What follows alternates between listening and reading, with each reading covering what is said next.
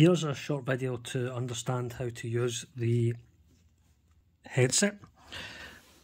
So the three kind of key components, the three buttons, you've got your on at the side there and you hold that in for a couple of seconds. And you can see that's turned on.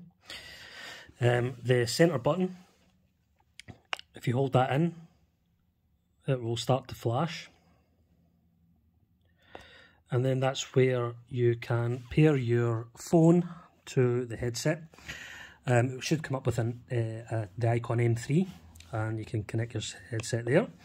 Once it's connected, it's just a matter of that skipping forward and back, holding it in, increases volume, um, decreases volume, etc. Um, to answer video calls, just push the uh, answer but the phone calls, just push the button. So when that is in place, these two buttons um, this one is for the DVR and if you hold this in for a couple of seconds, once you've got it connected to the headset, it will say DVR on um, and it's just a matter of pushing that button and again it will say DVR recording. If you want it to pause, DVR um, stopped.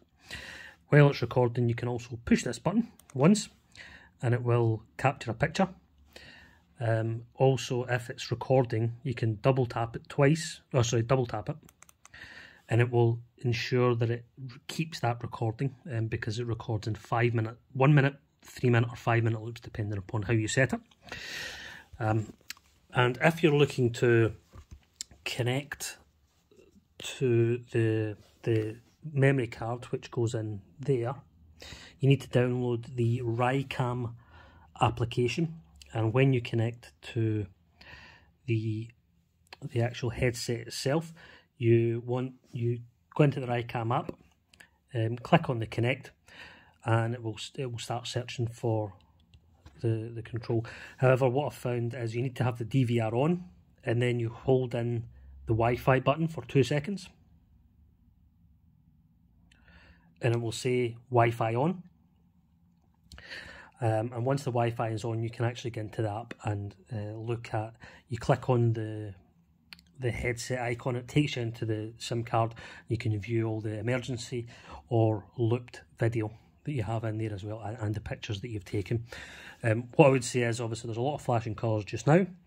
However, that's just because I've got so many things on at the one time. Uh, generally, it will just be um, a kind of simple, simple blue or or or um, kind of green flashing light. Um, and that's a kind of simple, uh, fast version of the instruction manual. Um, in general, the instruction manual could be a bit clearer, but that outlines the kind of key points that you need to be able to, to work this. What I would recommend, um, as I've noticed from my own videos, is uh, when you're uh, putting onto your camera, uh, your helmet, make sure that you've got the angle correct, because mine looks slightly down um, so it's maybe even worthwhile um, having it slightly raised. Um, but you can actually go into the application and see um, how it looks at the same time, so you can have a, a check of how you will, will how the video will look um, as it happens. Hopefully that helps um, and makes it easier for anyone using this. Um, all in, kind of cheap and cheerful approach uh, the battery life with the videos, it could be a bit bit longer, but from a, a Bluetooth headset perspective, um, I've never ran out. It does me a full uh, full journey, um, and it's it's shooty in. Uh, once you get the, the, hang of being able to use it, uh, no problems at all. And the customer service from the, the company is, is spot on. Cheers.